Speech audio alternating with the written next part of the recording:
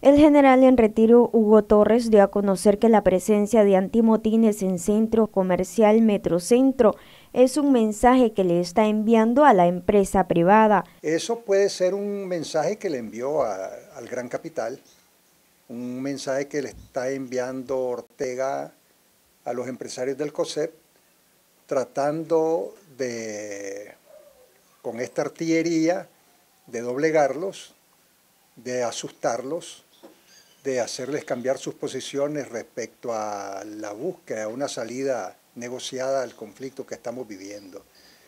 Pero por otro lado, es una acción de una gran irresponsabilidad porque eh, es también un mensaje a la inversión extranjera. Recordemos que, Metrocentro eh, es, es una expresión de la inversión extranjera salvadoreña fundamentalmente.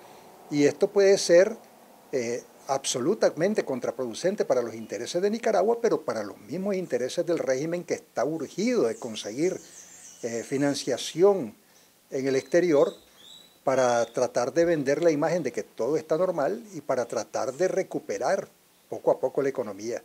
Es un hecho muy grave.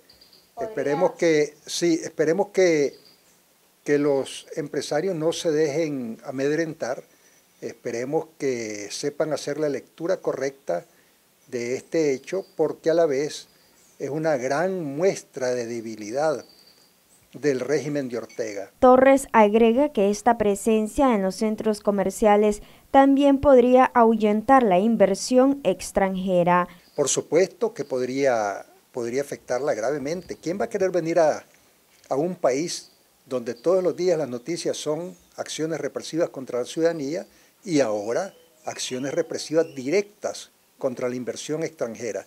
¿Quién va a querer exponer su dinero en, una, en un país como este? Por supuesto que le afecta. Ortega, en su desesperación por salir del, atolladero en que se ha metido, eh, cada vez que reprime se va metiendo más todavía.